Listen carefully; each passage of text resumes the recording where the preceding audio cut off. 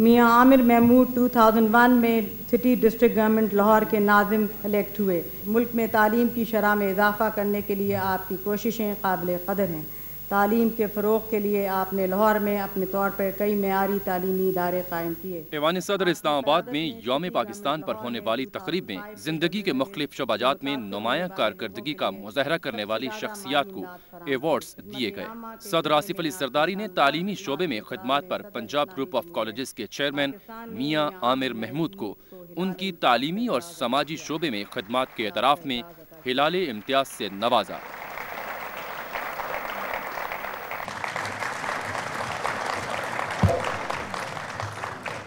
मियाँ आमिर महमूद 25 जुलाई 1960 को model town Lahore में पैदा हुए।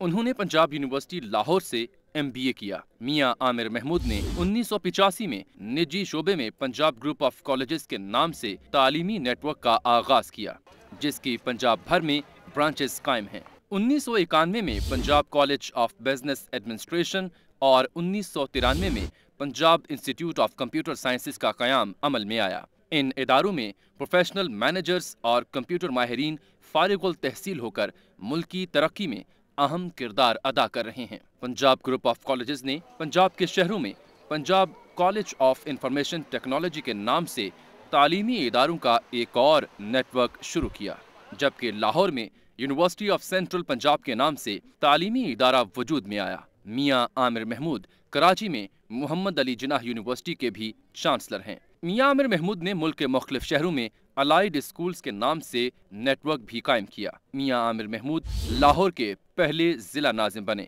उनके दौर में लाहौर में रिकॉर्ड तरक्याती काम हुए। मियाँ आमिर महमूद दुनिया न्यूज़ के चीफ एग्जेक्टिव भी हैं और पिछले तीन साल से ये चैनल तरक्की की मनाजिल तय कर रहा है।